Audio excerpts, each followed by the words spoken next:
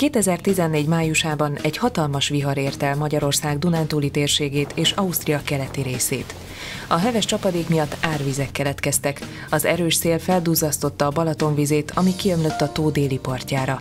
Több helyen megállt vagy korlátozott volt a közlekedés. Az időjárással kapcsolatos problémák számos katasztrófavédelmi beavatkozást igényeltek.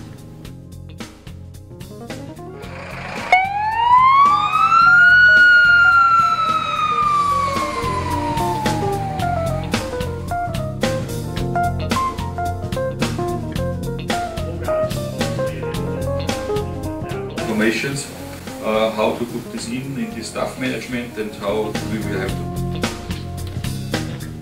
A katasztrófavédelemnek hasonló helyzetekben már napokra előre kell készülnie a szélsőséges időjárásra. De vajon hol fog a legnagyobb erővel lecsapni a vihar? Mennyire komoly problémákra lehet számítani? És mennyire valószínű, hogy tényleg bekövetkezik az ítéletidő?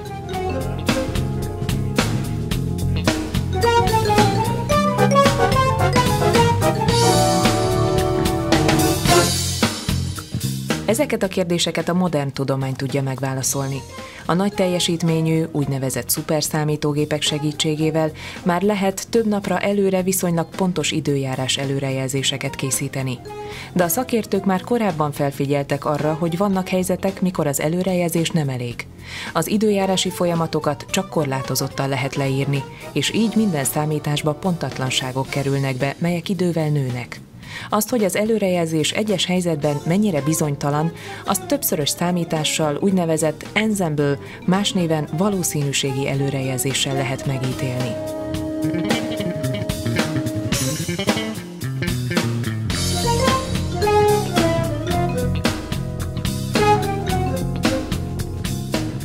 A valószínűségi előrejelzések előnyeiről kérdezzük dr. Szintai Balást, az Országos Meteorológiai Szolgálat módszertani osztályának vezetőjét. Ez alapvetően a légkör kaotikus viselkedése miatt van, és ez vezet ahhoz, hogy kis pontatlanságok az előrejelzési modellrendszerben nagy hibához vezethetnek egy bizonyos idő elteltével. Ezt mutatja be az itt látható ábra, ahol egymástól csak kismértékben különböző előrejelzési tagokat láthatunk. Ezek a tagok az előrejelzés elején egymáshoz nagyon közel vannak, azonban, hogyha futtatjuk az előrejelzési modellt, akkor láthatjuk, hogy az idő elteltével ezek az előrejelzések egyre távolabb kerülnek egymáshoz, és mint egy két hét után a vonalak már teljesen fedik egymást, ami azt jelenti, hogy a kezdetben hasonló előrejelzések teljesen különböző viselkedést mutatnak hosszú idő elteltével. A légkör kaotikus viselkedésének kezelésére dolgozták ki az ensemble előrejelzési technikát. Ennek lényege, hogy nem egyszer futtatjuk le az előrejelzési modellt, hanem többször 10 vagy akár 50 tagot is futtatunk párhuzamosan, és ezen tagok szórásából következtethetünk az előrejelzés bizonytalanságára.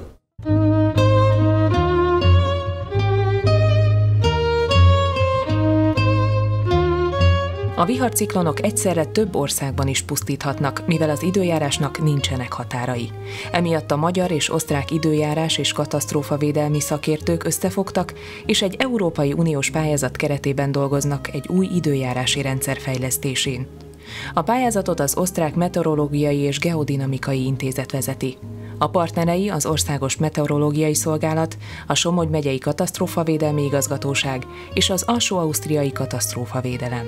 A meteorológiai intézetek már korábban is foglalkoztak valószínűségi előrejelzésekkel. Használták az Európai Középtávú Előrejelzési Központ számításait, és saját, finomabb felbontású rendszert is létrehoztak, Aladdin modell alapján. A pályázatban ehhez még hozzákerülnek az ultrarövid távú arom, inka és meander előrejelzéseken alapuló kimenetek. Ezeket mind összerakva több időskálát átfogó előrejelzési rendszert kapunk, ami információt ad az esetleges veszélyes időjárás kialakulásáról, a jelentől fogva egészen tíz napra előre.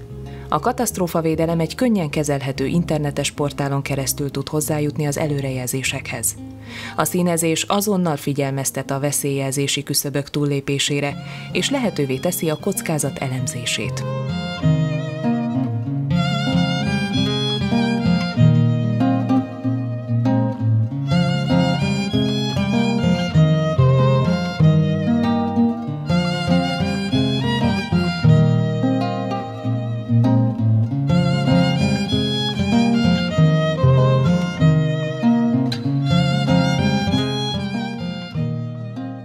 Megkérdeztük az osztrák belügyminisztérium katasztrófavédelmi szakértőjét, hogyan értékeli a Proforce pályázatban létrehozott fejlesztéseket.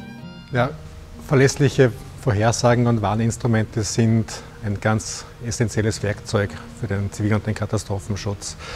Und wir kennen bisher ja schon die kurzfristigen Vorhersagen und die Instrumente im Bereich weniger Stunden, die geeignet sind, sehr kurzfristige Maßnahmen einzuleiten. Äh, wir sind aber verbunden mit dem Problem, dass es möglicherweise oft äh, keine ausreichende Vorwarnzeit gibt, um wirklich effiziente Maßnahmen größeren Umfangs einleiten zu können. Mit dem, was Proforce jetzt gemacht und erforscht hat, äh, wird es den Zivilschützern möglich, äh, schon frühzeitiger auf Unwettersituationen aufmerksam zu werden und auch längerfristig schon Maßnahmen vorzubereiten und einzuleiten. Und so gesehen eröffnen sich natürlich viel mehr und neue Möglichkeiten, auch äh, im Anlassfall entsprechend äh, zu reagieren und äh, kurzfristig dann Maßnahmen einzuleiten, um Gefahren von der Bevölkerung und von der Infrastruktur abzuwenden.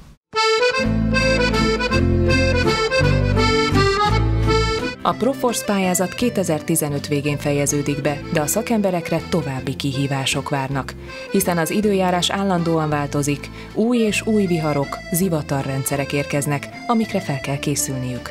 A pályázat lehetőséget adott egy új együttműködés kezdetére, aminek végső célja a polgárok nagyobb biztonsága és hatékonyabb segítség katasztrófa esetén.